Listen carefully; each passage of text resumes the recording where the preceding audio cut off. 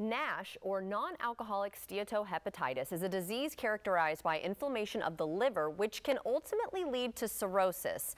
So to help us understand more about this disease and how a new test will help assess the risk of disease progression in NASH patients is Dr. Zobair Younossi, Chairman for the Department of Medicine and Professor of Medicine for Inova Fairfax Medical Campus, and Dr. Chuck Cooper, Chief Medical Officer for Siemens Healthcare Diagnostics at Siemens Healthineers. We're excited to have you both here to talk about this today. It's important, of course.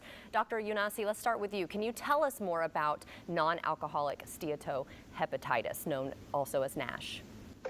Yes, of course. Uh, so NASH is, uh, is a uh, type of fatty liver disease that's the uh, uh, most common type that can potentially progress uh, to cirrhosis. Probably about 25% of U.S. population is affected by non-alcoholic fatty liver disease, and a smaller proportion with NASH but the numbers are so big that it has already become a, a major cause of, uh, of uh, uh, liver cancer, liver uh, cirrhosis, and, uh, and, and even liver mortality in the United States and probably the rest of the world. So, what are the current challenges in NASH patients then? Well, in general, there are three major challenges. One, the awareness about this disease is actually quite low uh, among patients, healthcare providers, and even uh, policymakers. So that's a major challenge because very few patients, maybe less than 5% of patients with non-alcoholic fatty liver disease have been actually diagnosed. Second, treatment for it, for this in terms of drug treatment it's really not FDA approved or approved right now. So we're relying on on, on lifestyle modification with weight loss and exercise to uh, to address this. The third is that there's uh, historically there's been only one way to tell which patients are at risk and has a lot of uh, uh, uh, significant amount of scarring of the liver or fibrosis, and that was done with a liver biopsy, which is invasive. Now there is a new blood test that is called Alpha, and you hear about this. That can, with a simple blood test, you can at least have a window to where the patients are going to go. So it's a prognostic test to tell us what patients are at high risk. So these are the three major challenges that we're currently facing in this field. Okay, Dr. Cooper, can you tell us more about this new test? Sure. So we at Siemens Healthineers have introduced a new test called the Enhanced Liver Fibrosis Test, or ELF test.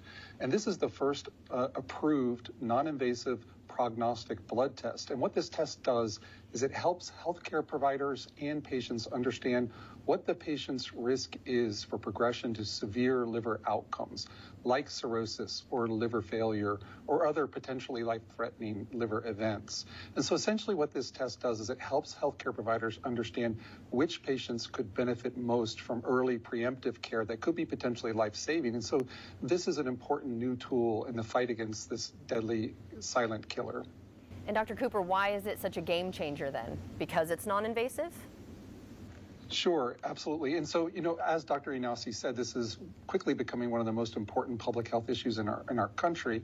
And this is a non-invasive test. It's a simple test. It's just as simple as any other blood test. And as such, it can reach patients wherever they are. So now there's a new tool that's available to uh, healthcare providers and patients that can help them manage the risk and and hopefully avoid uh, severe outcomes. Okay. Well, Dr. Younossi, what are the key takeaways about these helpful advances for those with NASH? Well, uh, the burden is high and it's increasing because of the the uh, prevalence of obesity and type 2 diabetes rising in the U.S. and the rest of the world. Uh, we are developing new drugs, but for the first sort of advance, we now have a, uh, a test, a simple blood test called ELF test, and and uh, patients and providers can actually get a lot more information if they go to Siemens dash healthineer.us slash alf. You get a lot more information about this disease and also about the test that's available. That's an advance, and, and we're hoping that we can we can build on that. Wonderful. Well, thank you both so much for bringing this to light and spreading the awareness. Uh, it was nice to meet both of you. And if you'd like to see this segment again or get more information, of course, you can head to our website, firstcoastliving.net.